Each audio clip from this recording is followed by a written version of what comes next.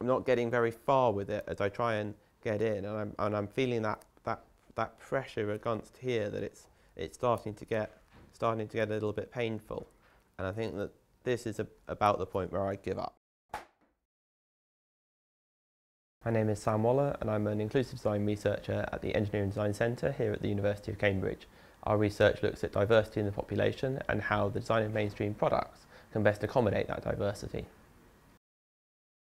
So we've just launched new versions of these Cambridge simulation gloves and glasses.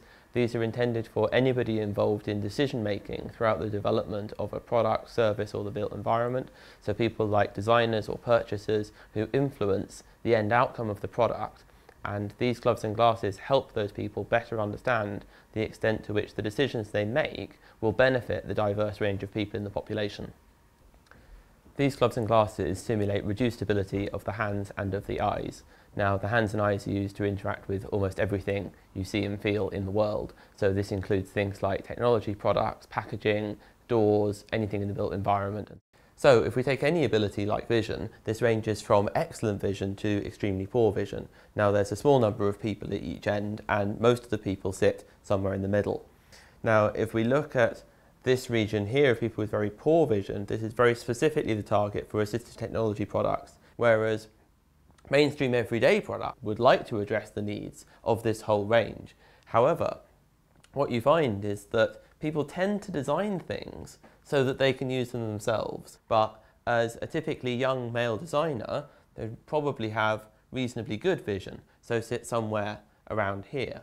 Now, if they are just about able to see it, that means everybody with better vision than them will be okay. But there's this whole range here of people who won't be able to see it because their vision isn't quite as good. So there's this gap here where there's large numbers of people who would benefit from making it slightly bigger. So here we're going to look specifically at plastic overwraps as a type of packaging. Now these are commonly found across DVDs, chocolates, stationery, that sort of thing. And when I'm confronted with this sort of package for the first time, what I need to do is to try and look around the package to try and find the, the starting point for how I'm going to think about getting in. There's, there's a something there, which is a, a, a strip that runs around the outside here, which indicates that might be a weakness that I could, I could look at to start with. And as I run my finger around that, I actually find this loose bit here, which as I then pull on that, it actually goes extremely easily. And then once this tear has started, it's then very easy to get the product open. So here I'm wearing three pairs of glasses, which is set up to simulate the level which is right on the borderline for maybe I'd be able to drive, maybe I wouldn't be able to drive. Now, if I have a look at the product again while wearing this level of simulated impairment, now as I scan around the product, I find nothing, nothing at all that would give me any indication as to where I should start on the packaging. I can just about feel now that there's a corner of some wrapping on this corner right here, which I think if I attack at that corner, I might be able to get in.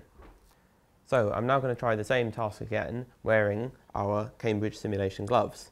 Now these have been designed to simulate arthritis of the knuckle joints, which means that the more I rotate my knuckle joints, the more it would hurt. And that's simulated on these according to the pressure of the plastic against my knuckles here, so if I now carry on trying to open these post-it notes, I previously identified that there was a corner around here, but as I'm as I'm picking away at it, I'm I'm I'm, I'm not really getting not really getting very far, and it's starting to hurt now as I'm as I'm feeling the pressure of this plastic on my fingers, and I think that this is a, about the point where I give up and ask for help. So we're hoping that mass market manufacturers will use these simulation gloves and glasses during the development of their products in order to better inform the decisions that they make, which will then give them competitive advantage because they've improved the user experience within their products and it's better for the people in society because it helps people maintain their independent living for longer.